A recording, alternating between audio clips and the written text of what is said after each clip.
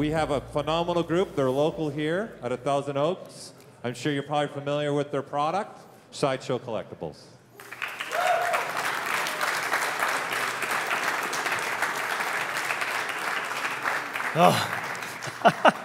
I dragged these guys here to do Yeah. this. They did not want to be here. So thanks for the warm welcome. Thanks for having us, Paul, uh, Jaime, and uh, everyone else at the Pixologic team for everything you do. Um, want to give your shout out to Ofer?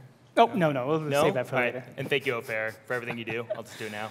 Um, so we're excited to be here. We didn't. Uh, we got invited last year. We was horrible scheduling conflicts. We wish we could have came, but uh, we're better off this year actually because now we've been able to implement. Uh, we our digital pipeline's actually grown significantly. So um, I hope some of you guys are familiar with Sideshow. Uh, we love making statues, toys, and collectibles of really, really nerdy things to, you know, keep all your wallets empty. But uh, so my name is David Igo. I'm art director for all licensed products. So I work with the design team to help establish what we're going to make, and I work with the sculpt team as well. So I'm here with Will Harbottle, one of our sculpt leads, Steve Schumacher, one of our senior sculptors. So is Nathan uh, Nathan Mansfield, and then Matthew Black at the end is another sculpt lead. So uh, we have an in-house team. We have a lot of ex, uh, external people as well. Work with people all over the world, uh, which we'll talk about as well, like why ZBrush is so great for that opportunity as well. Um, so what we do at Sideshow, you know, we make collectibles of various different kind of awesome things for uh, film, television, comic books, video games, any other pop culture. Uh, we've worked with licenses, small and big. We start out with Universal Monsters and some other weird one-off stuff. And we, our first big license we got a long time ago was Star Wars. From there, we got Marvel, and then our most recent uh, license we've been able to play with, which is one of my favorites, DC. Um, so that's been great. And even more recently, we've been de- uh, developing our own IP called Court of the Dead. And we have a couple other IPs we're developing as well, so we can actually like make our own characters and sell statues of those. So uh, the how we do, like what, like what we do and how we do it. So what we, how we go about it is we start out with an idea, and that goes to a design, whether it's 2D or 3D, and then we work with the sculpt team. Then it goes to mold and cast, we can make masters of them, and then it goes to the paint crew and the cut and sew team to make an actual prototype, because a lot of our products actually have real fabric elements. And then to the graphics team and photography, so we can put it up on the web, put it for sale, then take it to China to produce it, make our run of it, and hopefully eventually get into the customer's hands. Now, uh, that is arguably like one of the hardest things of what we do is getting things into customers' hands, but I'll touch on that in a little bit. So what we've had to do as a company is we've been a very self-critical company with taking steps to evolve what we do. We have to stay current, we have to stay ahead. So we have to always find ways to push ourselves to do better and be greater. So how can we do that and how can we keep fans engaged and happy? Because ultimately, if the fans aren't happy and they're not buying our stuff, we don't have jobs, and we like our jobs very much because we're pretty spoiled there. It's one of, it was one of the most surprising things when I got to Sideshow was how self-critical they were. I mean, they have meetings to discuss what are we doing wrong, and I'd never been in a meeting like that before. You guys got a mic too, in case you want to. Did Paul give you his mic? No, we got- No, no mic. Yell, We got waters. You got waters. sit close to me, Hey, hey, talk Paul, into my mouth. Do we have a handheld mic that they can share? Do we have a handheld mic that they can share and throw between? Cool. We don't care what they say anyway. yeah, front show. So uh, part of that evolution is our uh, working with traditional sculpting, where we started from. We've been a company that's been around for 20, over 21 years now, so we're a legal drinking age company. Yeah, company years. So and then implementing digital more and more. We've been doing digital sculpture for probably over eight years, not as heavy in the beginning, um, we worked with a lot of guys early on that did just props or little pieces here and there. But our main, uh, where we started was definitely traditional sculpture. And so how do we get involved into digital sculpture? So a big question is like, why go digital when we were so traditional focused? It was working for us, why go this way? And again, it's been an evolution. It hasn't been just like an overnight like light switch. So um, one of the main reasons why was the talent pool. It's ever growing. It's ever like Gnomon is pumping out tons of students every year. There's everyone all over the world. It's easier to get access to ZBrush and all those tutorials than anything else. And even more and more traditional sculptors are making the transition to digital as well. Um, I teach digital sculpting. I taught the three, or I, I taught very basic intro. Now these guys are way ahead of anything what I can do. But I helped uh, work with these guys and making that transition. A lot of my friends as well. That's one of my passions is helping traditional artists learn digital. So talent pool again, so many artists all over the world using ZBrush now. In collaboration, that opens more doors for us to collaborate. Um, with ZBrush, you have the ability to have one guy do what he's really good at, and he has the whole thing he's working on. But then if you're getting the file at a certain stage, like, you know what, he's kind of struggling with the portrait. We have this amazing portrait guy. This guy can keep working on everything he's great at. We can be altering the portrait over here or the base. So it's a great collaboration tool for us. And then sending files. Uh, sending physical packages is hard and heavy and expensive. Dangerous. And we work with a crew in Argentina, and they've been lost and held at customs, and we've lost prototypes, and that's really expensive and months and months and months worth of time lost. So sending a digital file like online or even through USB, and if your file gets lost, you can send another one. You know, if you lose your package, it's gone. so it's And you can send it in the middle of the process, whereas usually a physical package is not arriving until it's totally done. And if there's Yeah. anything wrong with it that you didn't notice, it's too late. But uh, you can send the file again and again and again, and we can review it all the way through the process. Yeah, which is that's huge for us because so many times when we see a work in progress shot of like a sculpt, we'll like, oh, I wish we had that thing here so we could look at it and really assess what that pose is doing in 3D. And they, So people tend to take terrible pictures of their Yeah. physical stuff, too. I mean, you have to Some- be a good photographer to Some guys are really good at it, and some guys are absolutely horrible at it. So sending files for uh, physical packages is huge. And uh, actually, another point of that too is traditional sculptures are really fragile. Like I don't know how many times it's happened to you guys. Hasn't happened to me because I'm not a. I'm, I didn't have. I didn't start there, but I mean, I've heard stories of guys with their wax sculptures on the corner of their tabletop or whatever. Then their jerk cat knocks it over in the middle of the night, and that thing shatters. And there's no like previous file or whatever where you can just load it up. That thing's gone. And, and to fill you in, all four of us started as traditional sculptors for many, many years. We, that's where we come from. That's why we're spending some time talking about this transition, because for us it was a big deal as a company and as individuals.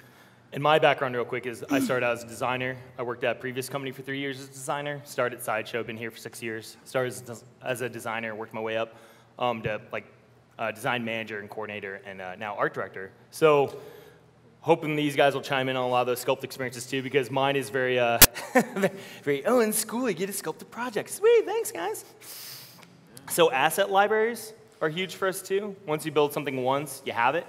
If you have an amazing hand or weapon or prop or buck model you want to start with, or even being able to download files from online or sharing assets between each other or as a company, being able to build that library so you can share and explore. To, to jump in, the, the first time you sculpt the Hulk's fist, it is one of the most fun things you can ever do. I mean, it is, you've always dreamed as a kid to sculpt this giant Hulk fist.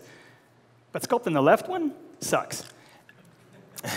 And then sculpting it the second time sucks even worse. And as a physical, you know, as a traditional sculptor, you're doing those over and over again. I started off as a uh, action figure sculptor, and so I did, you know, 30 Hulks and 20 Captain Americas. And um, the first one's awesome, but the second one not so much. But in the digital world, of course, we can reuse those assets, some of them, and we can improve them. So I have, like, for example, uh, a set of female feet that I've been working on for 10 years. And every time I need another pair of bare feet, I go back to those original ones and make them better and better and better and better. And as a traditional sculptor, that's not possible. Your mic works, right? In case you guys want to chime in. Yeah. I think it works. Matt would like to say so. So, uh, I can have a sh- microphone now. You got it. All right, sweet. It works. So uh, one of the, the biggest, and these are these next three points are actually uh, three of the strongest points for going digital too. Is control freaking Z. You can undo stuff. I don't, I don't know how many times now, whenever I'm drawing, whenever I do a piece for a gallery show, when I'm drawing, and I just you do something, you're just like, you just reach for the keyboard you don't have. You know when you're working on something, like, dang it, you know, I would, ah, you become so reliant on that thing. It's kind of nuts. It's funny, coming from a traditional background, it's still weird to get used to Control Z because you have to learn how to not be afraid to make mistakes. Because in traditional, any mistake you make is very painful. I mean, some of them much more painful than others. And you have to keep reminding yourself, this is free. Like, I'm not wasting material, I'm not wasting energy, I'm not wasting anything if, you know, if I explore in this direction. And the liberation, liberation of that is really unusual. I mean, we're not, as traditional sculptors, trained to be used to that. And what made me think one time was I have a four-year-old daughter, and um, I realized as she was playing with my Cintiq one day, and ex- just experimenting like crazy and doing all this kind of stuff, and then I showed her, if you don't like anything, you can always do Control Z and go back in time.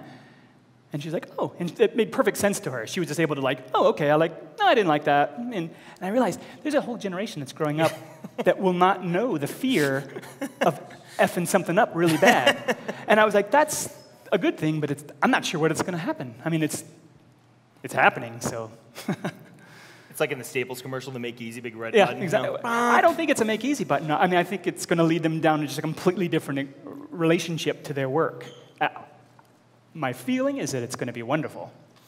So uh, symmetry, being able to take advantage of this tool, this part of digital. Not that um, everything in the world is symmetrical by any stretch, but when you're roughing something out or building something, or even if something is actually symmetrical, like a piece of armor or a car, not saying everything is, again, symmetrical, but having that where you do one side and do the other side is something, again, I think people get so used to, they forget what it's like to actually work on a whole sculpture and work on two sides of something, not just one side and the other side. I worked for a Boss. I worked for a Boss one time, and he would always only sculpt the right side, and then he would hand it to an underling to finish because that side sucks. the left side always sucks. Subdivisions, um, Will has the best, and this is something he actually told me the other day, which I never even thought about, but how you can work with subdivision levels. He made that great analogy. I, for me, it's always it, it became clear that there were three reasons to be digital: Control Z, symmetry, and the third one is subdivision levels. And the way I explain it to my traditional friends is, at any moment in time, and you're all digital sculptors, I'm sure, so this is going to be not news to you, but to traditional people, it is a surprise that um, at any moment you can simultaneously work in soft clay and very hard wax. As a traditional sculptor, you start in soft, potentially, if you need to go more detail, you mold it, pour it in wax, and then you, and then, but you can't go backwards.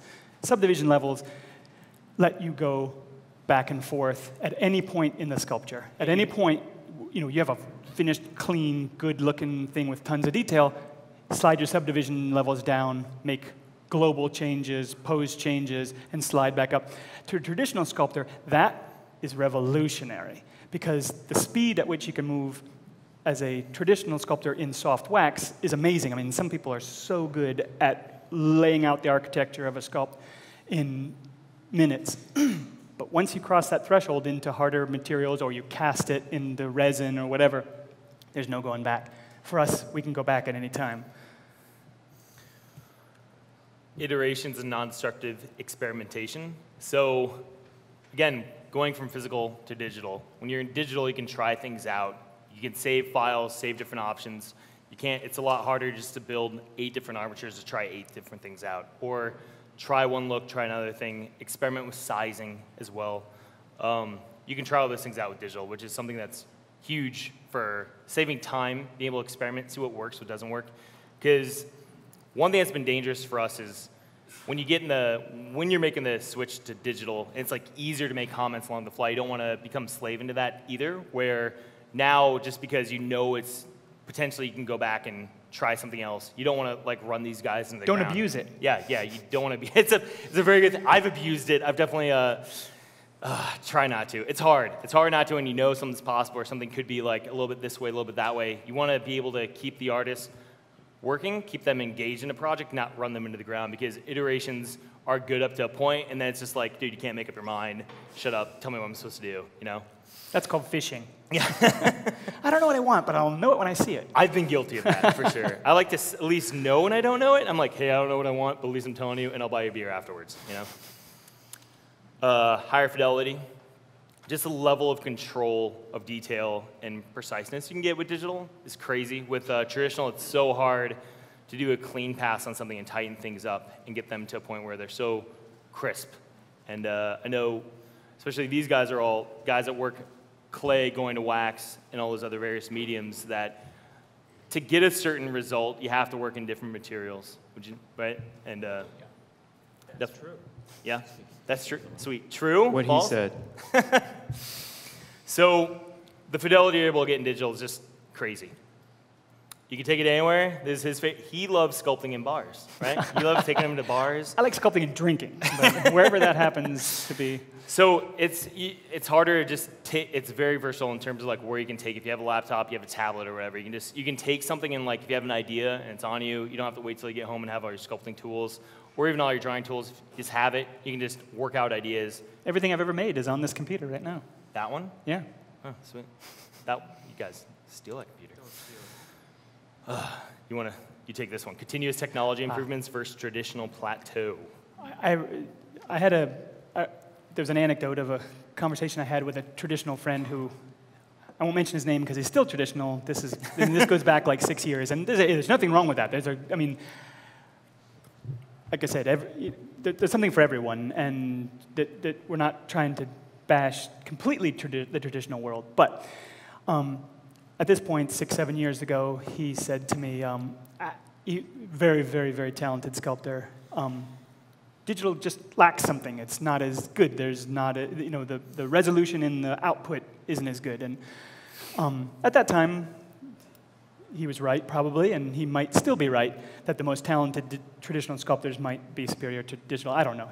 But I asked him, I, I asked him, "Wh- when was the last time someone invented a new wax or a new clay that changed your life? And he said, oh my God, it's probably 20 years ago. And I said, when was the last time someone gave you a tool, a tool that becomes part of those three tools that you use every day that changes your life? And he's like, I don't know, probably 20 years ago.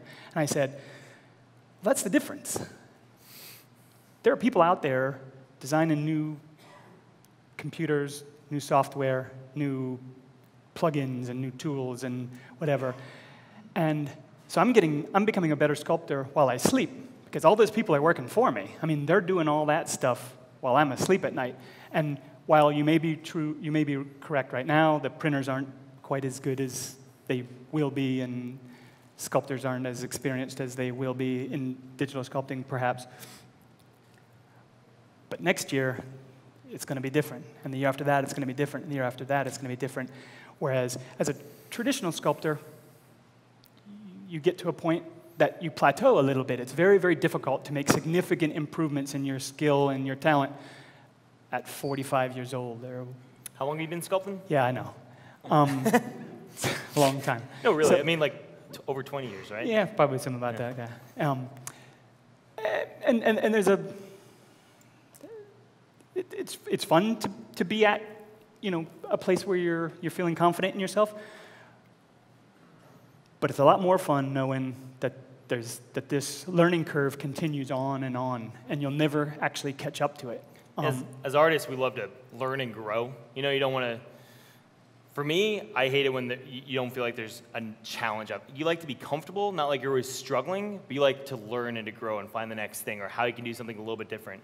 Now, when you're working with graphite pen, there's only like so many, or an ink on paper. You know, there's only so many different things. yeah, Even your as anatomy designer. can get better and Yep. your, you know, whatever, but it's not going to be significant improvements. Whereas someone comes out with a new computer chip or whatever that makes your computer twice as fast, guess what? I'm twice as fast the next day. And I didn't do shit. Whoops, sorry. Will. Um, the next part too is sizing. This isn't to be uh, confused with scaling either. We're talking like uh, marginal sizing differences. Like if we're working on a project, we print it out, we wish it was five to 10% bigger, we can size something out 5% bigger. If we want the head or proportion changes a little bit bigger here and there, we can change it without totally redoing it or having to, uh, I remember the first time, I think Matt or Nathan, one of you guys were working on like that expanding stuff. You cast and you throw it in water and it expands a little bit. Like, Hydrospan. what's it called? Hydrospan. It's like that stuff that you buy out of the gumball machines. It's like a, a lizard or something you put in the water and it grows. It blows up. Yeah. And it You kind of is deformed. out of it. Yeah, so if we ever want to like make part of a sculpture 10% bigger, you'd have to cast in the special material, put it in water for a certain amount of time, weeks. hope it doesn't overgrow, all that stuff, recast it, it's just Yeah, that, that, that's an 80s toy, so Yeah. that dates us. I know Way back in the you're talking- 1900s. Yeah, We- way back when. we use all f- sorts of technology. I, I used to have those toys all over the place. 80s technology. watch it expand in the water was always the coolest. We thing. used to soak the silicone molds in kerosene Yeah. for weeks and weeks to make them expand and swell. And it was never That very was, even. That was a lot of fun. That was an emergency situation, Oh, right? yeah. yeah. And then if you need to like make some, this. oh, sorry, go ahead. Go ahead. I'm making fun of these guys. Yeah. even if we want to make some smaller, we could do generation molds, but then things distort, get pinched or whatever. But you can never just control it with the minutia. So that leads to um, some common misconceptions of uh, digital versus real world. And a lot of people think with digital um, that with scaling of details, once you make something once, you can use it for anything. Once you make that stormtrooper helmet, you can make a life-size stormtrooper helmet. You can put out a little three and three-quarter inch stormtrooper helmet. But uh, what happens is, with scaling, you need to, the details need to change in order to make it work for different sizes and scales. And that's something that a lot of people don't know until you just try it or until someone tells you because you're like, oh yeah, I made this. I remember the example that comes to my mind was when Will was working on Captain America. If you guys all know Captain America, he has like the classic one. is a scale mail, so it's a bunch of little discs. He made this awesome like, di- and this was eight years ago or something like Yeah. seven, seven years ago. All these discs along. I'm like, that looks awesome. Made it as a three and three quarter inch figure, and it was just noise. Couldn't even tell what it was. Just like nothing. He's like, ah, crap. You know, like the heck. So he had to take those and blow them up like five times as big. So when you look at it on your screen, you're like that looks like a toy. But then we make it this big, like, oh, it looks right. You know, and even uh, grooves in like Iron Man armor. When it's something's life size, the grooves or plate detail can be a lot more subtle because when it's life size, it's there. But as soon as you scale that down, it becomes nothing. It just disappears. So when you want that groove to show up, for a life size figure, you'd have to make it like that wide for it to show up when it's smaller. So a lot of people think that just because you make it once, you can use it for anything. And even uh, there's talk a few years ago when it's like, let's make the ultimate stormtrooper asset so we can use it for everything. It's like, dude, six scale, because we work in various sizes. Our smallest we work in is six scale, so that's about a 12 inch figure, head to toe, that's six foot tall. And then we work up to life size. But we couldn't make one Stormtrooper asset that would work for a six scale figure and a life size figure. So we have to, we could have one we make and then know it's like maybe it would work for quarter, fifth, and sixth with some minor details. And we make one for our half scale in our one to one. Usually, figure. the smaller you go, the bigger the head, hands, and feet have to get. Like if you look at a body scan and you shrink it down, the hands and feet look ridiculous and the head looks tiny. So you gotta blow those things up. The smaller you go, so we, we do adjustments like that for scale. Yeah, you have to exaggerate features. Like if you have eyeballs sculpted on a face, you have a nice real face, but as soon as you put it out that small, you can't see anything. You have to like really punch in the eyes. And again, on your screen, it looks stupid. You're just like, this thing looks so dumb. But when you Yeah. print out this big, so one thing we've learned over time, this is kind of like the ghetto way to do it. But if you know what you're making in ZBrush and you have an idea for what size it's going to be, you literally hold a ruler to your screen and look at it that big on your screen and say, that's how big it's going to be. You know, just old school. Use a ruler, real ruler. If you have. Photoshop, you can export an image, go into Photoshop, use that. But when you can see how big it is, then you're like, why am I focusing on this armpit detail when it doesn't exist this big? You know, you just find, and that helps you be more efficient with where you're focusing your effort because you might not see it. So scaling in detail is definitely one that people think, again, just once you make it once, you have it forever. Oh, And if, when it comes to specific details, when you shrink it down to the size, okay, this is going to be an 18 inch figure and it's this big on my screen and you measure it, okay. If you can't see it on your screen, you won't see it when it's output, no matter how good the printer is. It's, that's the scale. And so most people are very shocked by, you know, this detail is so overdone, it's so intense. Well, shrink it down to the size it's going to be, and you can't see it at all. And that, that's a good rule of thumb if you're going to be working for a prototyping company or have things output for yourself at Shapeways or whatever. Or you're making armor plates all over somebody, and you're looking at it, you know, 18 inches on your screen, and then you shrink it down and realize your plates are the size of a piece of paper. Yeah. And you think they're huge, thick slice of bread thickness pieces of, yeah. Yeah. And there's microscopic when you print it out. Yeah, the, you're talking about the thickness, right? Yeah. Yeah, Yeah. just We scale. And even- that problem with Skeletor. Yeah, a lot of times too, even when, and- you know, something we're still figuring out, we're doing lots of tests on, is how heavy we have to texture things after the output process and after the cleanup process, because There's they don't look, they don't ever look exactly like you see on your screen output. It's like you have to sand stuff down, you have built like I don't know, just you guys know better than Yeah. That's the problem with having giant Cintiqs. You end up working this big, working on an eyeball that's like 18 inches, and then you shrink it down and you realize you wasted three weeks. size of a, a The, uh, pea. The, the skin texture is Oh, another yeah. thing. Like the gen, general rule of thumb with a skin texture on our collectibles is unless it looks like you've ruined it on screen, it's not going to show up once it gets printed out. It just looks Ruin it. like it's gone. So we literally have to force ourselves to almost ruin these things and feel horrible about it until it's printed out. And then all of a sudden you're like, oh, okay, that's not so bad. That looks actually pretty on the mark. But you spend, what, that week waiting Yeah. for the printout, just it's- terrified. It's not enough. It's like you, you're Right. We got some- texturing we leather got some boots questions. and it's not enough. Go ahead, sorry. ahead. There's some questions here on the floor. You got, Oh. you got stuff going now. Yeah.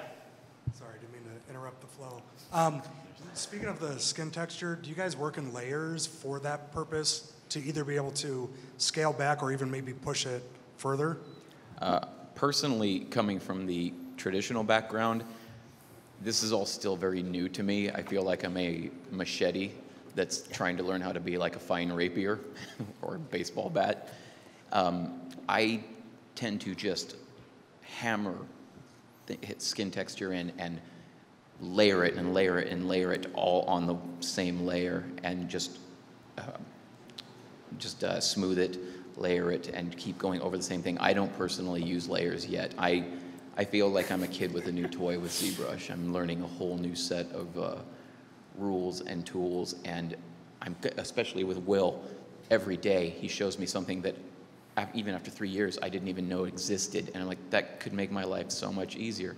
So, for me, I just work on the model on one layer. We have the advantage also of having in-house printers, and there's nothing like sending it and seeing it, and sending it and seeing it. So I would encourage anybody who is interested in having their pieces printed out. It's actually really Get your own printer. no, no. You can send it to Shapeways though, or some you know other service, and uh, you can see it, and then you can make a correction, and you don't have to send the whole thing. But it, uh, we, we were shocked at how remarkably reasonable it is to get a piece printed out. I mean, even at the highest resolution, you know, a few hundred to a few thousand dollars. Would, you know, that's a lot of money, but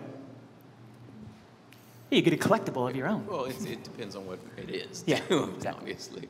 I would definitely say layers is definitely a way you can That's do one it. way- Whenever I teach uh, my students layers, it's definitely showing how you can like punch things past or even go into the negative if you want, and that's a great way.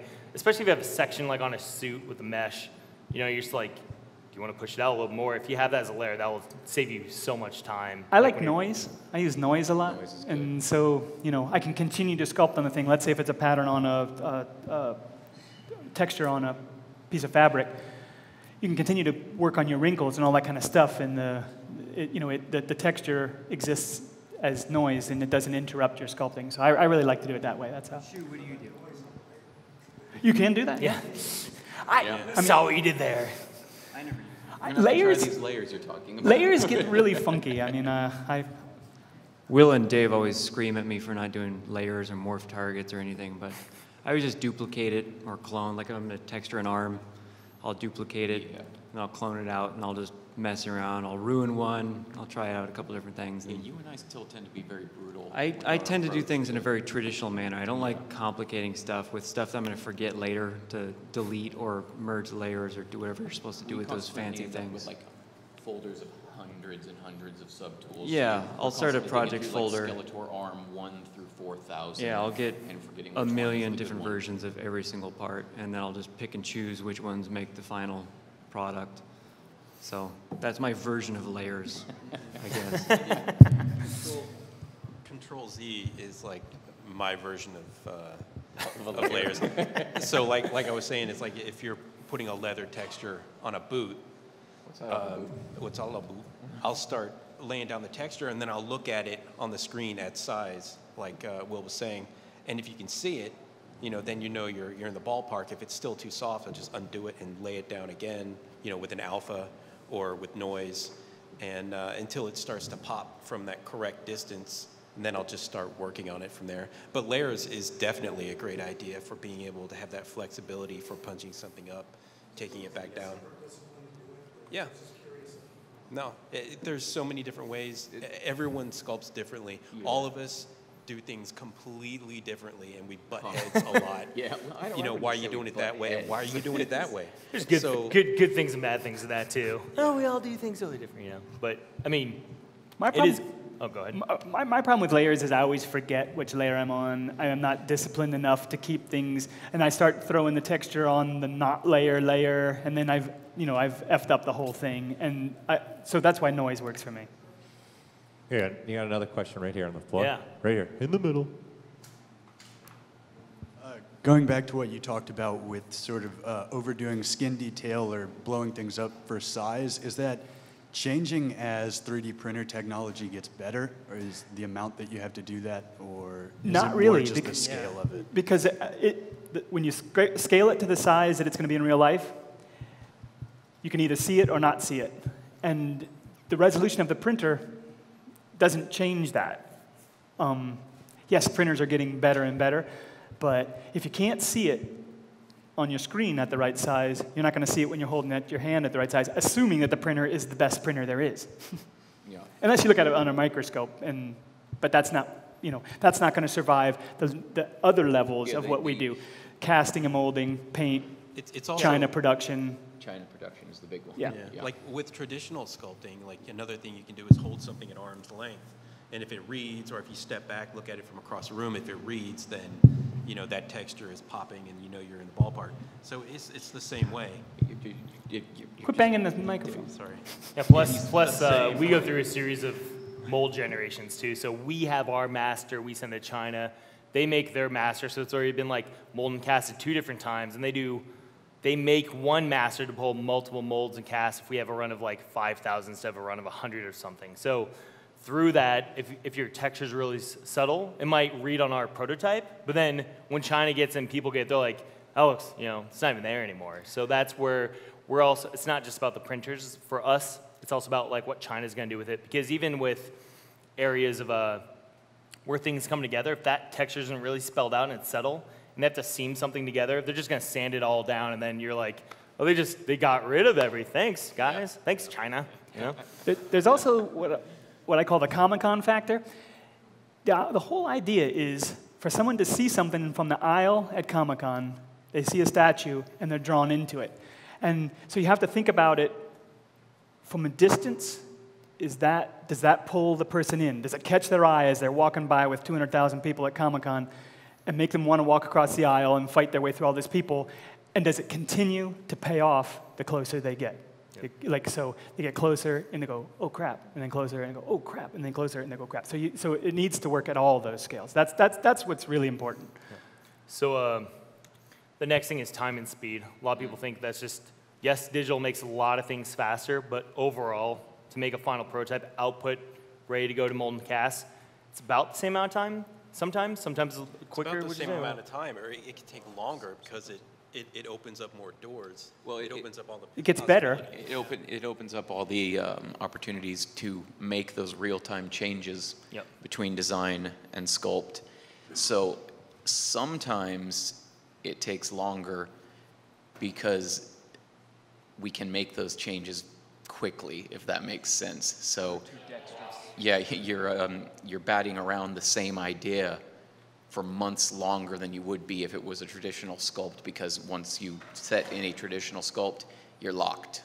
That's pretty much it. Yep. So it it's awesome that it's a very intuitive tool in terms of like real-time changes and pass back and forth. Like Dave and I were just collaborating on a piece where I was able to literally pass him the head across the computer, just here you go, you, you do what you want to it, and send it back to me. And we were able to collaborate. Uh, Matt and I did that with Skeletor, um, and it worked out wonderfully. Whereas with traditional sculpture, that doesn't always work. The two styles don't usually gel, and Yeah, you and butt that- heads. So sometimes it sometimes it's quicker, sometimes it's And longer. that's a case too where that saves time as well, because you don't have to like ship a package to some guy. You know, you could just whoop, Skeletor zip was it a to him. project that, because we teamed up, we did it in like 30 days versus if you did it traditionally, it would be like a six-month It would've been project. Six months, yeah, wait. and- But then we still had to add in printing, clean up the print, and then all that stuff. So it averages out to being about the same time. But the initial sculpture is considerably faster and much more dexterous. But it's better in the end.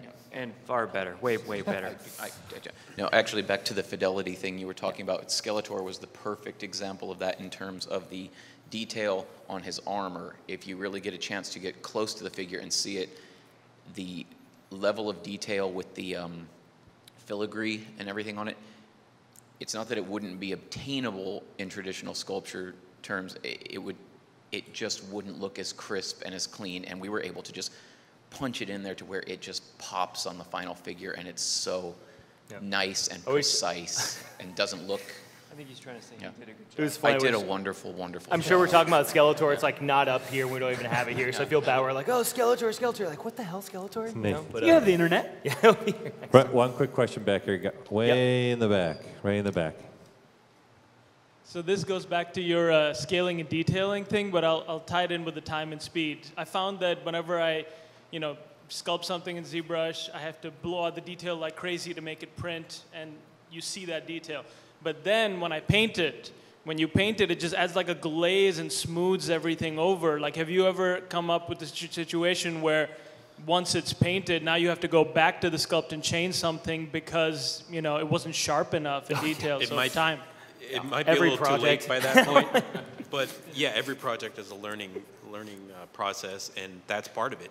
Yep. The digital process. In fact, uh, we were kicking around the idea of printing out a number of test pieces that will let us see uh, the level of detail and how much we have to punch it up at like this size and this size and this And size. displacement. Well, real, Yeah. real quick to that point, specifically about paint too. There's a, a piece we're working on recently where it was a character and we are messing around with like hair on his arm, and we actually roped in the paint department earlier and earlier. We're roping in the paint department. We have we work in house, work around all the other departments, so that's a huge benefit of working in house as well as, hey, we're trying this arm texture. What do you think of this? And like, well, actually, we could paint that that way, but then they're also thinking of how China's going to paint it because how we paint things is totally different than how China's going to do it because they have an assembly line. They have the one guy that does the skin, you know, and then the one guy that does this. So they're thinking about how can we do that arm tech, uh, the hair texture on the arm.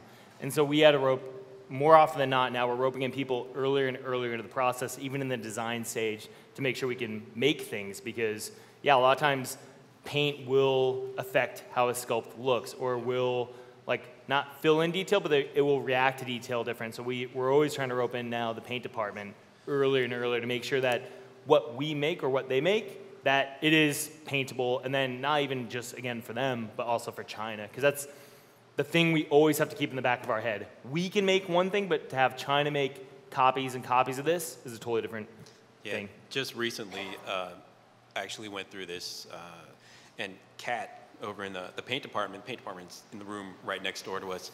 She came by and she just let me know, like, because they're painting this this piece of mine right now. She was like, you know, this this detail in here, once it goes through mold and cast and it gets sanded, it's starting to get lost. So the next time you do something like this, you might want to go a lot deeper with that, because once we put the paint on it and describe these tech lines on it, some of the detail is going to get really soft. So eh, unfortunately, at that point, it, it was actually, it's, it's too late for that piece, but it's like, like I said, everything's a learning process, and so now I know, next time I do that stuff, I really got to lay in those lines like a lot deeper than I thought I had to. And this is after we've been doing it for 20 years. So uh, actually goes what we've been talking about. We've already talked about this. Like if it's on your screen, you can make it. You know, um, this ties into other specifics too. Like if you see the armor on your screen, it might not be makeable because it's not thick enough or something like that. If you people think that just because they can see on their screen, you can print that out. And there's a lot of different instances where you know we struggle with making sure things are not only outputable but producible, which is the other part. Like when Will's going to do an engineering demo a little bit later on like how things can key apart and whatnot. So just because you can see on screen, a lot of people think like you know, and you don't know until you do it or until someone tells you again. But just because you know someone can fiber mesh this hair and like oh, I can I can make that. It's like maybe kind of, but it's not gonna come out like that. You know, so it's there's things you have to overcome when you can see it on your screen that you have to think about when you want to make it actual 3D. Um, perfection is a good thing. Like having something too perfect will make things look a little bit either stiff or not natural. So that's something we're struggling with too, is just making sure that when we get access or when we're building something is to make sure we're keeping, you know, an eye on things so they look how the way they need to look. A lot of people, when we're talking about the creative pool, that's expanding now too. We're working with a lot of uh, now video game guys too, and they're used to like building their things like in T-pose straight up. So when it comes to posing things, you know, you have to break things and rework anatomy. It's almost pointless to work something to finish in neutral pose because you have to redo so much stuff after the fact. So it's keeping your artistic eye on things and asymmetry with like the way anatomy works. Like no one has a perfectly symmetrical six pack.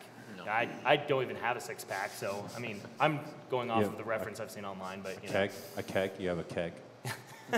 Or a Bud Light six pack then. where are you? um, so something people get caught up in is how easy it is to go to details really quick in ZBrush too, and uh, we it sometimes we work with a new sculptor and they just immediately are trying to you know please please us as artists and like hey look this thing's detailed and done it's awesome it's like but the pose is off or the form's wrong or whatever it's like don't lose your roots in what matter like the foundation has to be strong before you get to the details details are awesome but they're like the last step of making something complete for us with a sculpture uh, so the next part is kind of like so that's the how and why. Hey, Nathan, it's your Green Goblin up there. So this is kind of talking about how we get to design and development how ZBrush uh, overlaps between the two.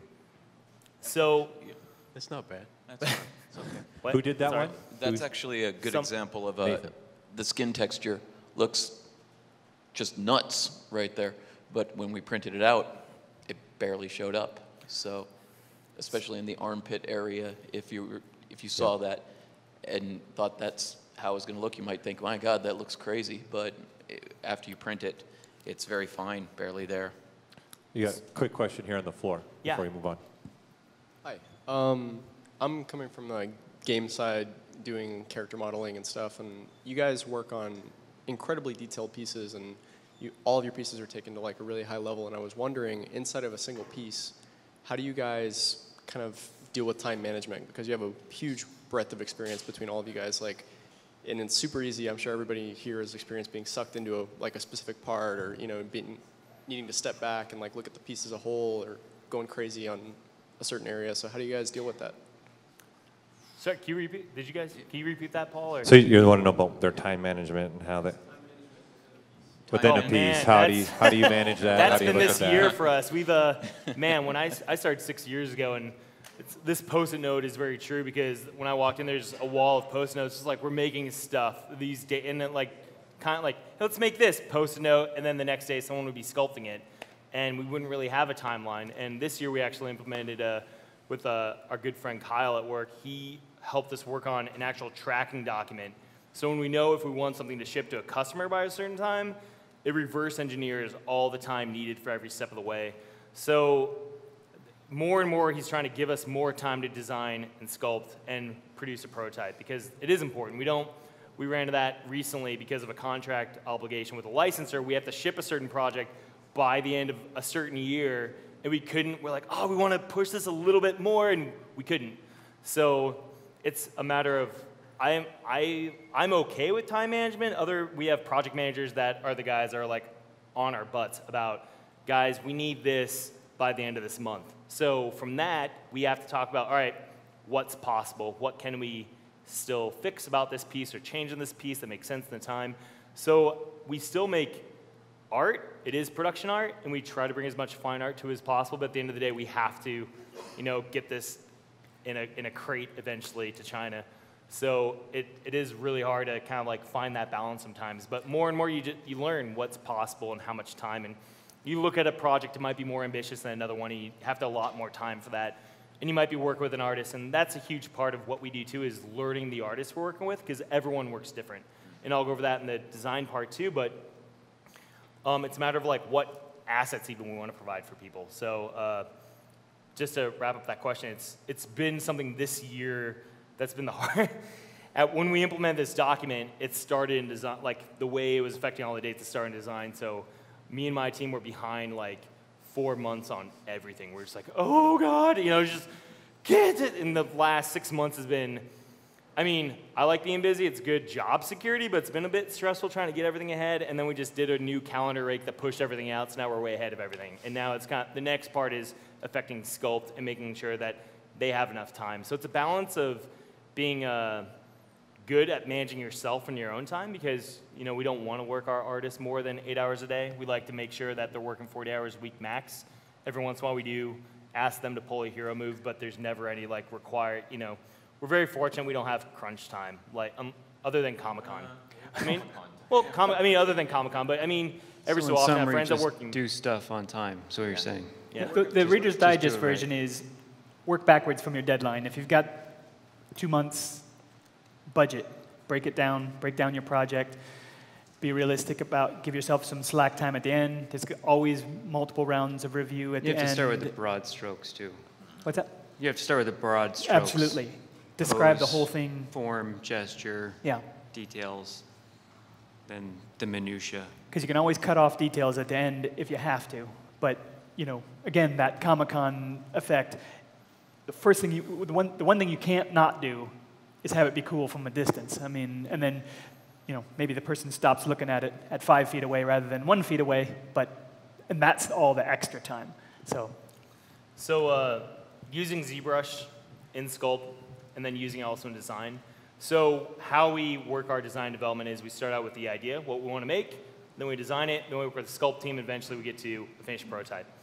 Um, for design, we use ZBrush a lot to do pose maquettes. So we can, when we're working on something, we, if it looks like it might work in 2D, but there might be a question, we like to go into ZBrush to open things up, pose things out, build basic props so we can make sure things can work in 3D. Because if we don't want to hand them a design where they're like, dude, you're crazy. What, you know, you're balancing on one toe, jumping forward, he's holding a rock over his head, like that, you can't ever make it.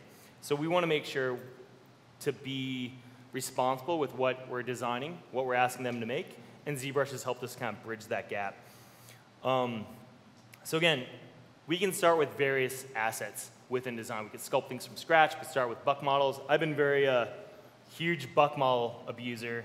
So to jump into this, one, Did you say, one guy, Did you say buck? buck, Buck. B, B-U-C-K, Buck model. right? Okay. That's what that means. I don't know, right? Buck model? Yeah. So I've, I've become really good friends with a super, I call him the above average male, because unless you're in Europe, that's the only super averageness about him. So I, when we started using this in design team, the design team about five years ago, this is before Dynamesh existed, so I would just start from this, because most figures we make are like two-armed, two-legged things. If we wanted to, you know, we could change the proportions on this to make it reflect something else. So one thing I loved about ZBrush is how fast it allowed me to take something like the Super Average Man, and I could easily, you know, this is the most basic stuff. This might bore some of you guys completely, but I don't care. But you could like make the head a little bit bigger if you want to make him appear like he's a shorter guy. So right there, he- looks less like a six foot tall guy, more like a five foot four-ish guy. And then we can also scale up the hands. Don't forget the local symmetry stuff, you know, the feet. In this case, I was working on something very specific where we worked on this Lord of the Rings line, the six scale maquette line. Uh, about when I first started, it's one of the first lines I worked on. Let me actually pull up that thing. I actually have pictures. Sweet. Let's just This- watch Lord of the Rings instead. Yeah, so you can watch Lord of the Rings. So this is a, a maquette line we worked on five, six years ago. We are building out the Fellowship. And one of the first designs we worked on after uh, certain characters was the, whoops, where's thing go? Was a Frodo and Sam diorama. This is a statue we actually made. Um, we did this 2D design, and at the time we had enough time to see like how they could pose and work in 3D space. Like uh, Frodo, who's on top, is he further back from Sam, or how, how do they work in 3D?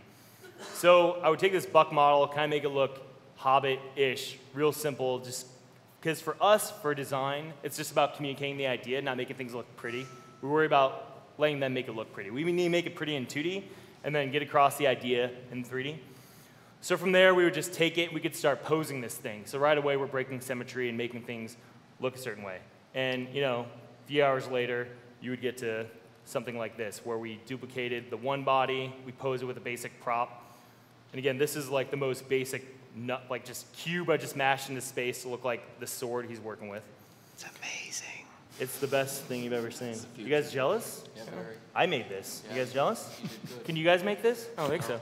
It's like watching the real movie. Look how advanced this is. But this allows you to see things like how they work in 3D space, how big this base is going to be.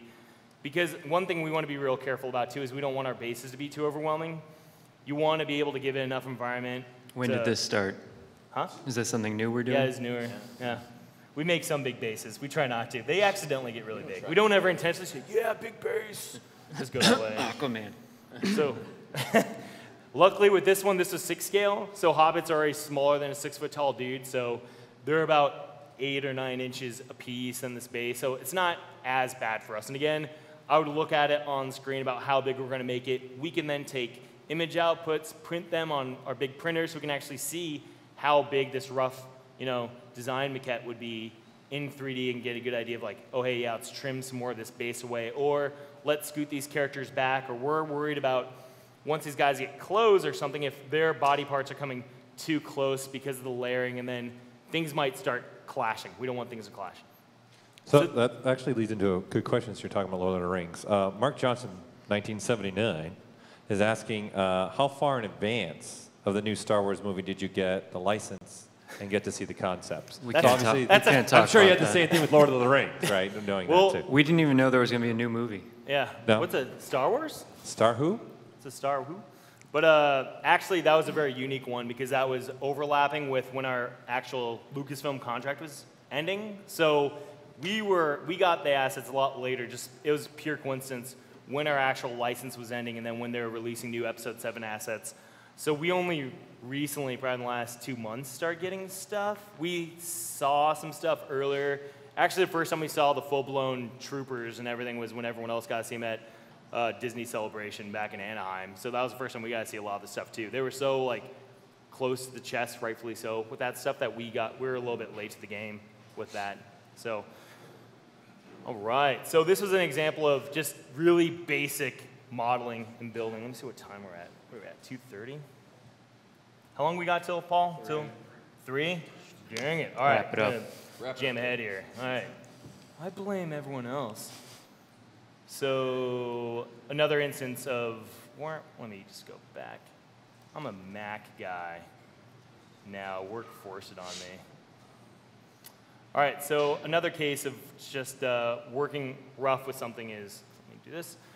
So this is an example of like how we could just work with, if we're doing an Iron Man maquette, this was one where we wanted to work on, this is Iron Man 3, and this was the Mark 42, so it's the one that looks all like champagne gold, I think is what you guys call it. So this is where we start in 2D. We know what, you know, we just try and figure out some poses. In this case, we kind of focus on like, we like pose B. Let's see what that looks like in 3D. So I worked with this, uh, a freelancer, Keith Kapinski, on this. And the thing I like about his stuff is he can stay rough really easy. A lot of people worry about making things clean. I, if I tell him like, hey, this is just like a throwaway thing for reference, whatever. So this looks like an Iron Man. You don't have to worry about being the exact armor. Once we build this, we can pose any movie Iron Man we want because it kind of represents what Iron Man looks like. I mean, other than if this changes from circle to square or triangle, no one would really know like what this is. So for us as design team, just to figure out poses in 3D, that is really efficient. So when we took po, let me just pull that reference up. Well, I don't need the whole thing. There we go. So we knew we wanted to work on this pose. So I talked to Keith about it, and he came up with this rough pose, kind of like readjusting the legs. We talked about swapping out. Actually, I think yeah, we mirrored the whole pose. So that's what it looks like. And I think we mirrored the pose because another Iron Man we were doing, we wanted them to be companion pieces. So we thought the other pose is stronger facing left, so we made this facing right or whatever.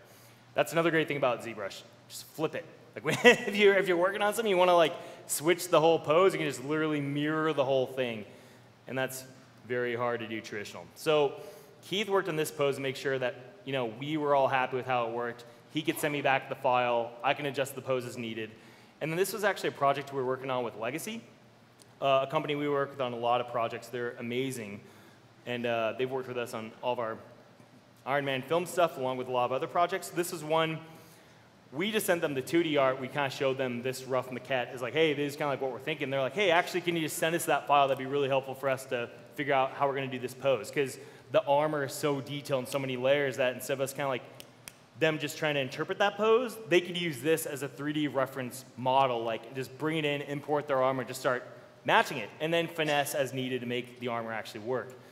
So I'm just going to pop between these two. This is a decimated model of their final thing. So you can kind of see how they use that to closely match what we were working on. So even though our proportions They were a did little okay. bit, I'm sorry? They did okay. Yeah, they're, they're, they're above Kinda average matches. people. Those legacy guys are okay. They know what they're doing.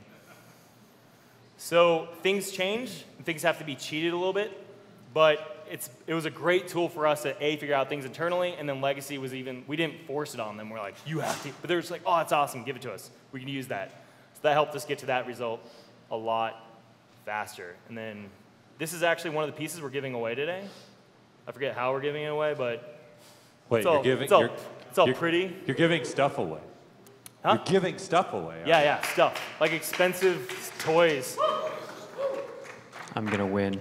I forget if I can just go through these. Yeah, so this is, it lights up.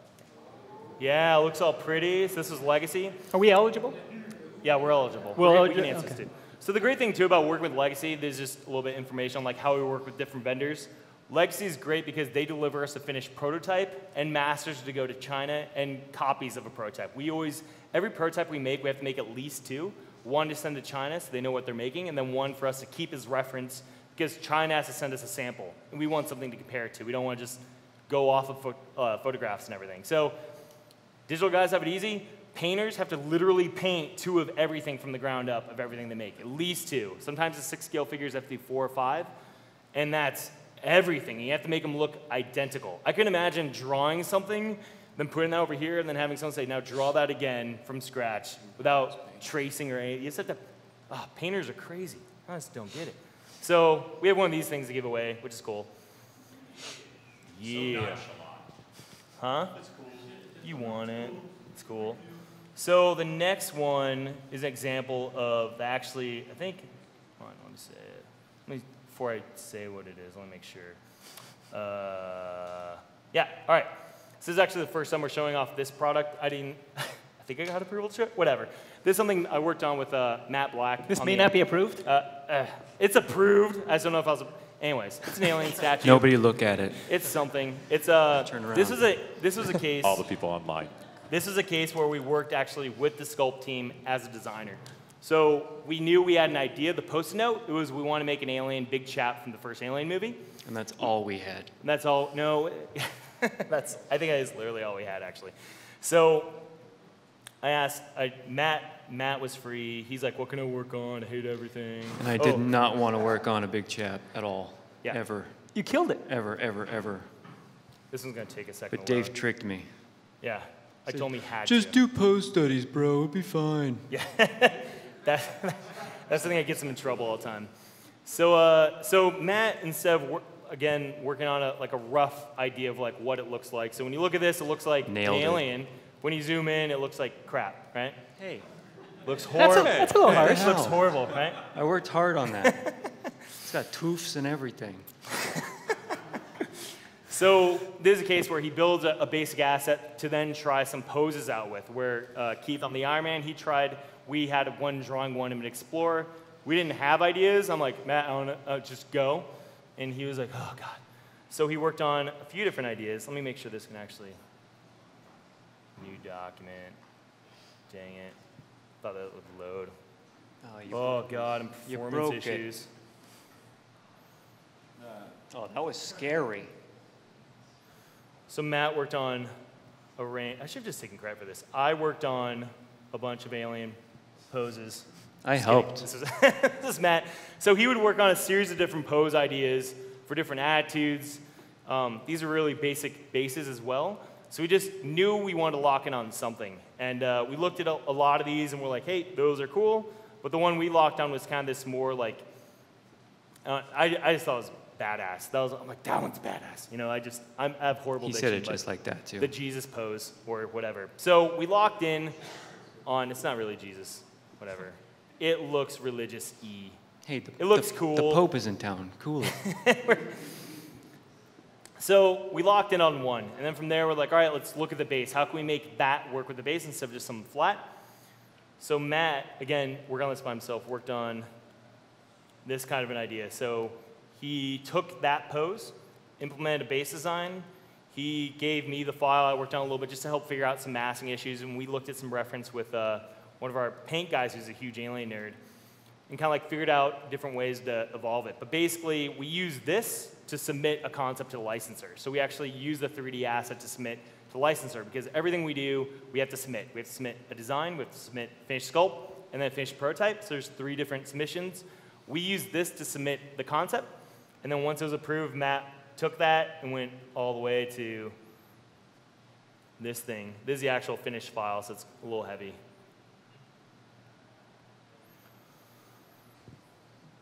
So new base, totally new model. Everything's engineered and broken up on this thing. I just merged it all together so my, I wouldn't hate my life as much. But the polygroups you guys can see, every single different piece this thing is broken up into. Turn off the frame, make it all colorful and rainbow.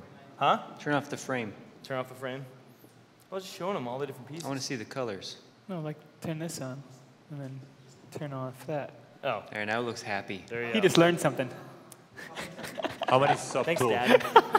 Matt, they're asking on the floor, how many sub tools was that? Ah, Jesus, I don't remember. It's I could, I could split parts right No, now. No, don't do an hour. that. it was I maybe know something about 40 to 50. 40 or 50? Yeah. 40 or 50? 40 or In order to make it manufacturable, it has to be tons of different pieces. The tail was probably four or five, and you know you can merge subtools until they're big moldable masses.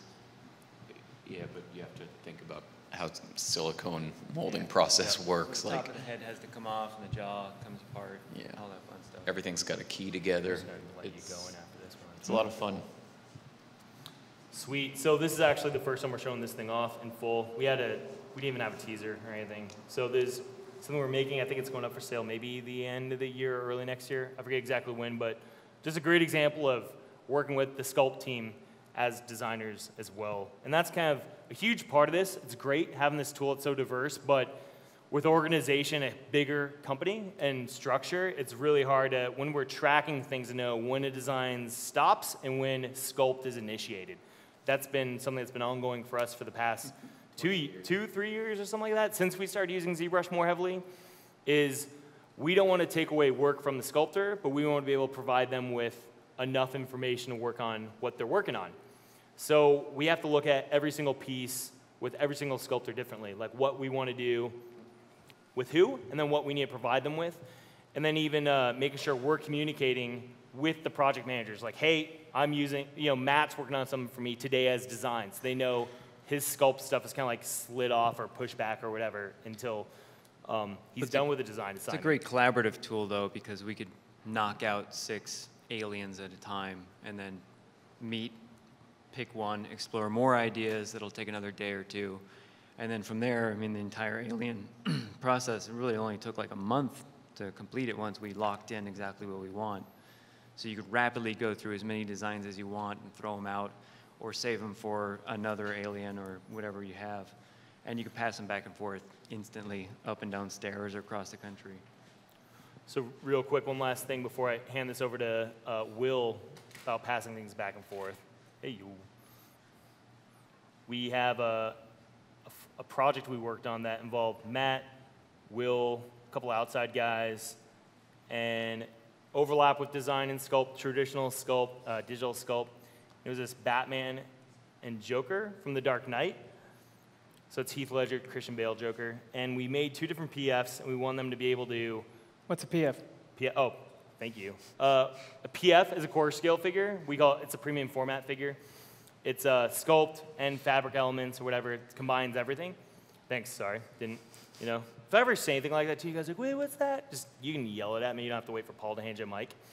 So, this is a design maquette we worked on with one outside guy. Matt was working on the, so this is for Batman. Came up with this pose based on uh, a couple pieces of art that we had. We're like, we like this, but we like this, so try something in between.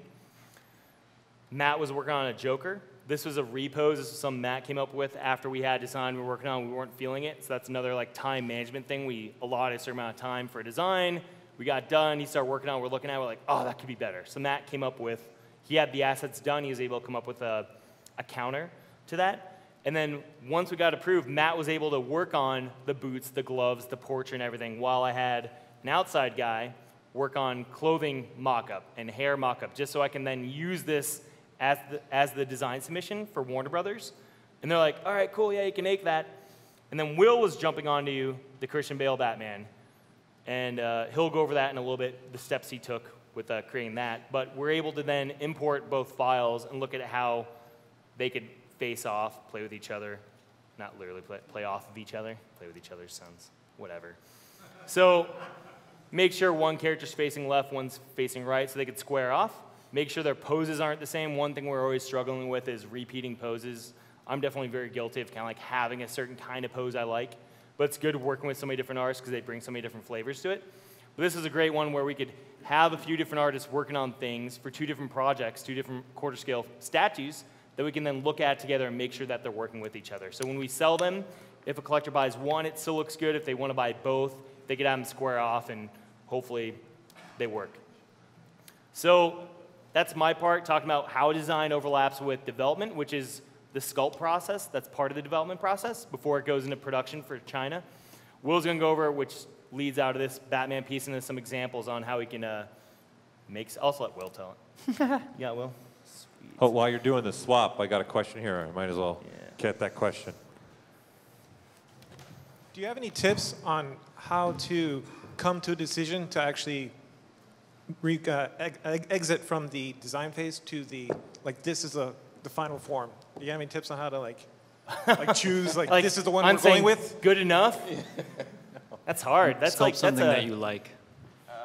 what, Matt? Sculpt something you like. Well, we're even well at least i find that even once the design is done it's not truly done uh, design is constantly coming down to sculpt and, we're co- and the licensor the, licensors constantly making little changes sometimes they're very significant changes sometimes they're minor but until the sculpt is done and in a box and on a shelf it's not done professionally, I mean, I mean not prof- sorry. Personally, if you're working on something you want to just kind of like know you have to make a choice, you're ne- you can second guess yourself in a hole of a blip, like just a never-ending rabbit hole, and that's a hard thing. I still struggle with that. Um, it's good to surround yourself with like-minded people, or even people that challenge you and ask their opinion. Be like, dude, is this good enough, or am I going crazy? Because to have that second check or second set of eyes will really help you kind of like have the confidence that this is good enough to move forward with.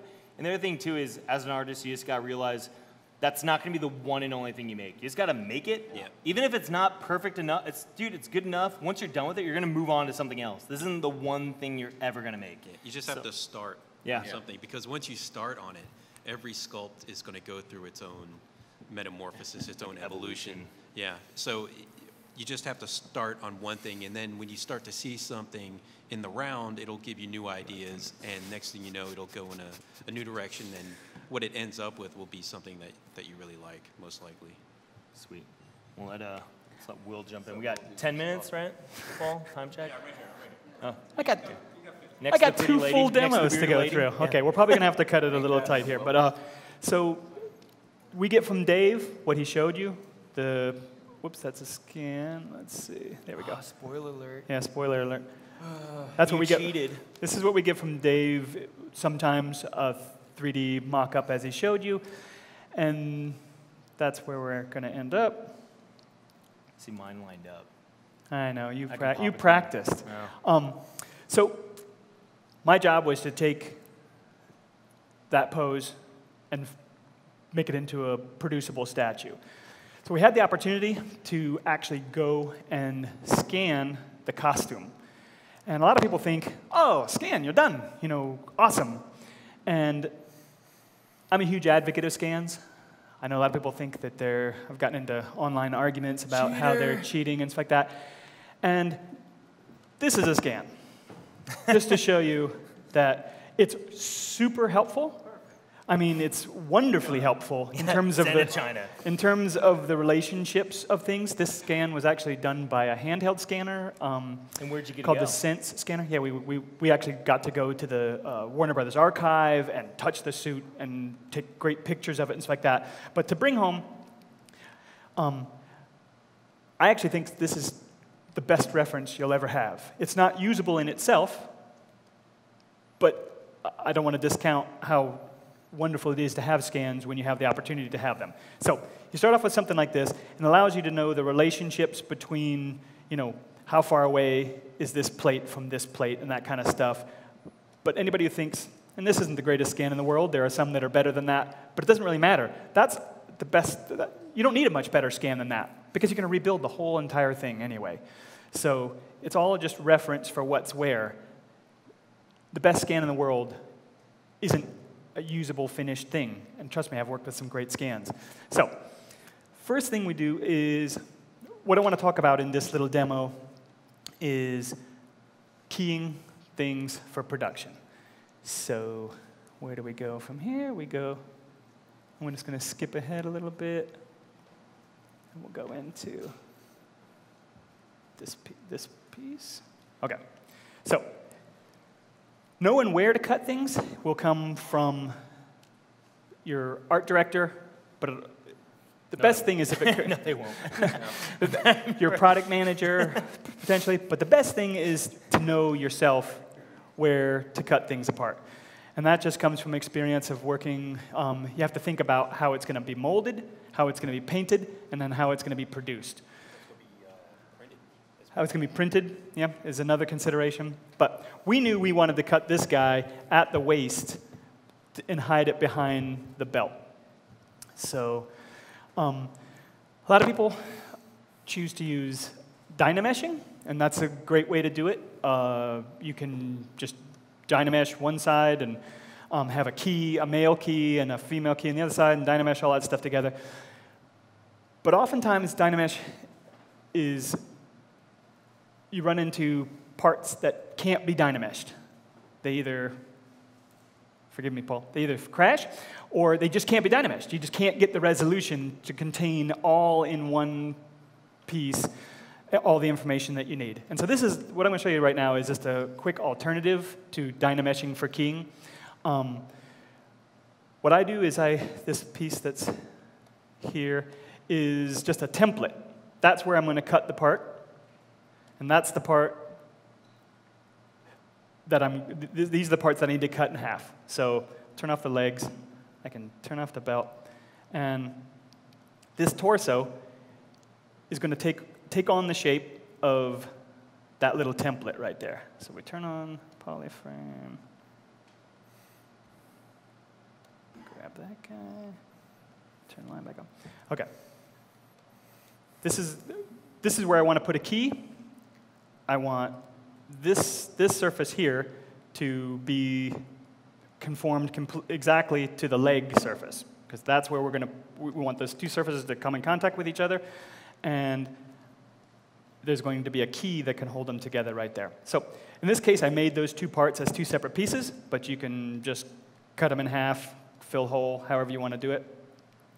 I'm a huge, huge fan of the Z Project brush. I wear that brush out. I think it's a very underused brush. Um, ah, I didn't load my preferences. Oh well. So let me.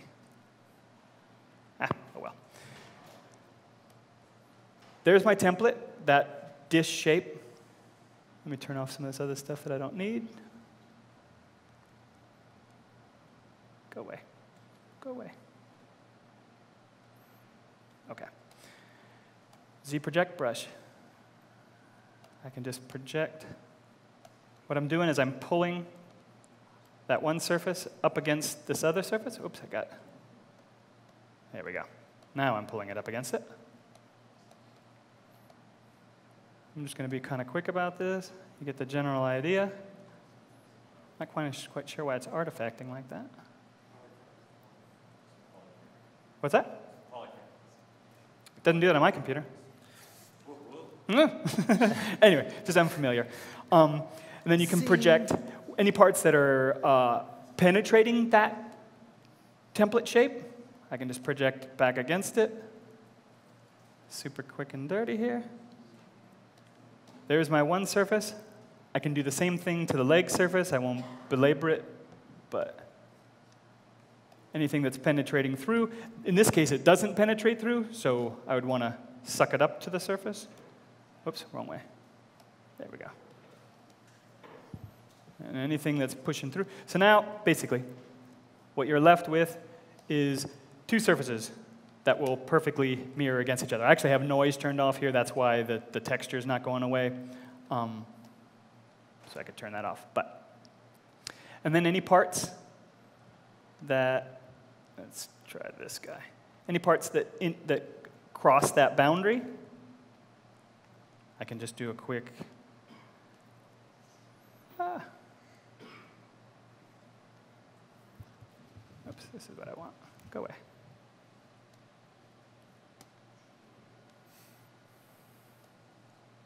I can just do a quick slice curve on that thing.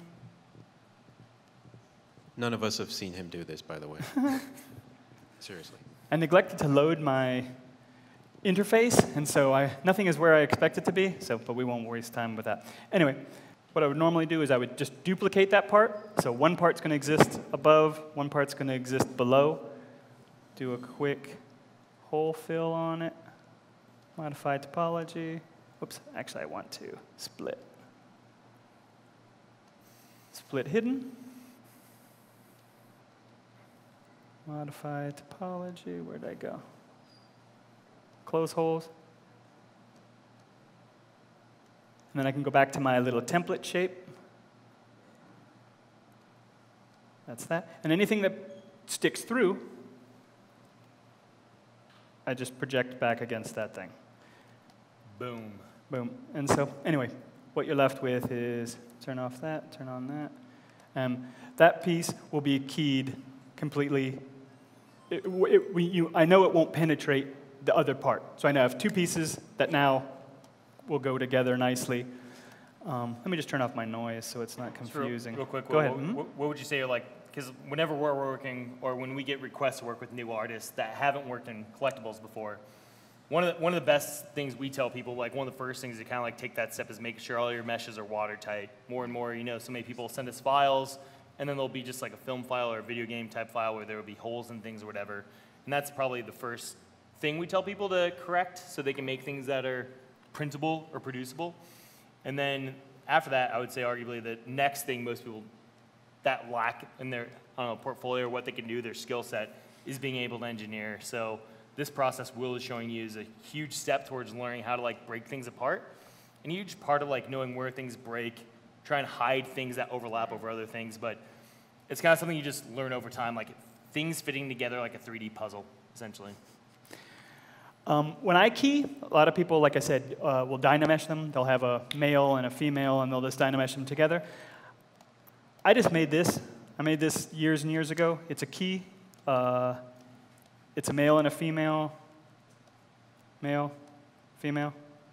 It's just to start off with a cube, and then du- duplicated the cube, extruded it out, and so um, you're left with a very simple male and female. You can see the reason that I like to do it this way is that you can control your tolerances. That gap between the male and the female, I, I can control just by making the male bigger.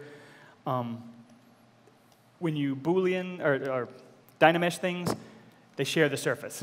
That means the male and the female are going to share the exact same surface, and sometimes in the real world, that's very difficult to get those parts back together. You end up having to sand like crazy to get those things to go together.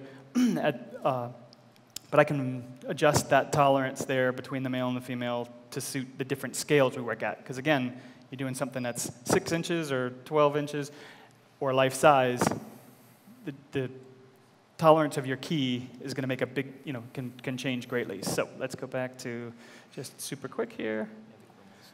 What's that? It's 3 o'clock, so yeah. I'm just laying out. It's our time. Okay, I'll just. 10 Oh, minutes? okay, okay. Oh, sweet. Thanks, guys. We're going Whew. long. Uh, append. I'm just going to append Until- that key until in. Q&A or until, or, I mean, is that just giveaway? So some people wonder how, okay, so now what do you do? I have my, that's my appended key. That's the thing that I want to cut a key in. It's really as simple as this. Uh, select lasso. I'm just going to grab my key, turn the mail off. That's the hole I want to put in. Oh, Is turn, off, project brush? ZBrush that? ZBrush? turn off ghost so you can see it a little bit better. I just select it super quick.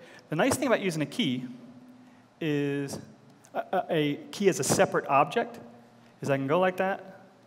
I have that the part that I want to push out of the way, so it's not covering up my keyhole. I go like that.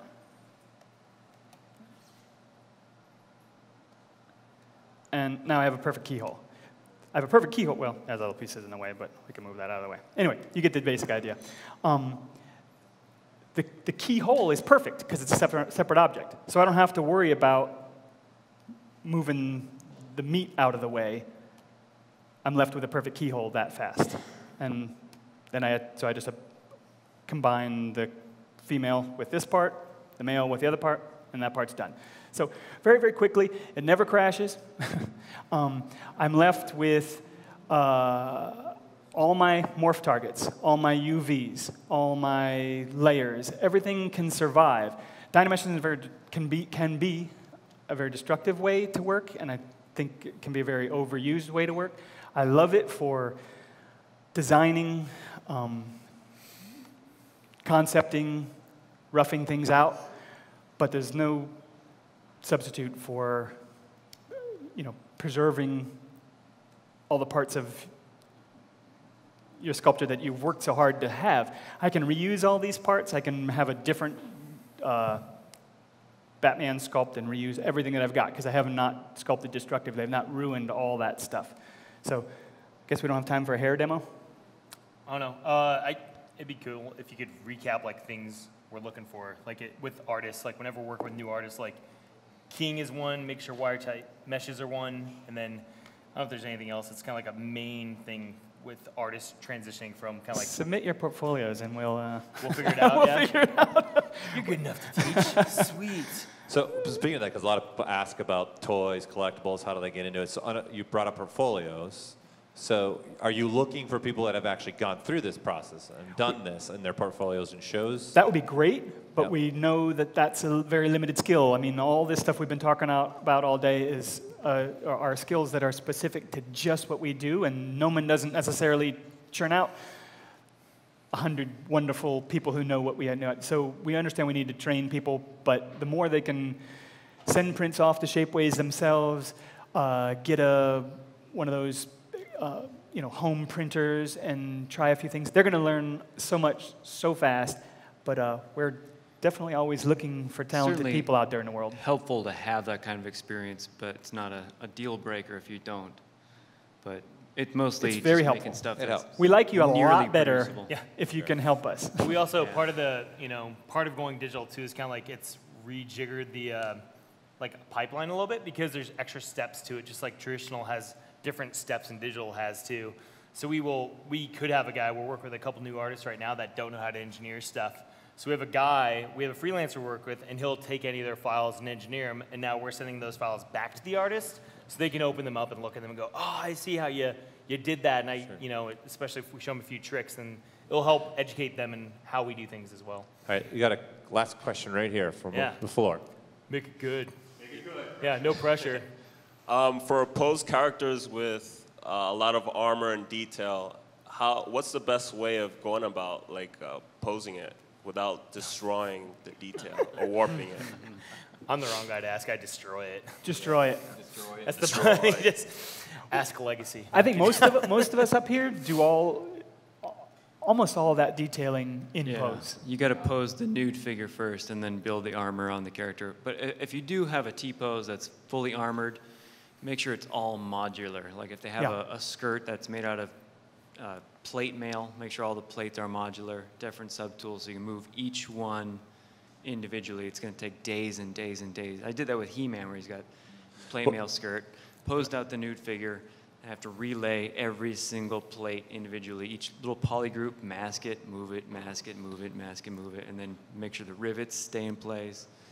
It just takes a lot of time. So that's a great question from Twitter too. Actually, works with. We'll take this as the last one. Uh, Broth67. So do you pose using Z spheres, or are you mostly using masking with the transpose master? Masking, transpose. I do. Masking. I do 80% of my sculpting with masking and transpose, and clay buildup. That's it, and then detailing. Yeah, with even on the design side, we use mask and transpose, and I use four brushes. I use clay buildup, move, smooth, inflate, and hard polish, so five brushes, I guess, mostly. I'll use dam standards sometimes, but not too often for our needs. because that's enough to help us communicate the idea. But even with sculpting, a lot of people worry about like, what's a specific like thing that's gonna make this so like, what's gonna do this for me? It's a lot of times it's just like manual labor. Just Those little center reticles in the transpose splines are the most helpful dots I've ever seen in my life. Hold down Alt and you can move a figure any which way, bend it, twist it.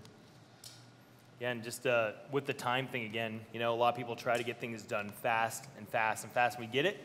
We all need to be efficient. We want to get on to the next thing and collect a paycheck. But a lot of times it just takes that extra time and energy and care. And even just stepping away, going to something else, coming back, and then putting that effort into it again. Because, you know, this, again, is production art, but still like a form of fine art. We try to keep it a form of. Fine art. And that just, it just takes time. You know, just there's no like, how can this make everything easy on me? And you know, we've gotten files from people where they look great at first look, but then when you zoom in, there's you know clasps that have gotten skewed because they didn't carefully like mask it out when they're transposing and things get distorted. So you have to open things up, and making sure everything's right because we look at that stuff and we try and catch it. Awesome. Yeah. Sideshow, everybody.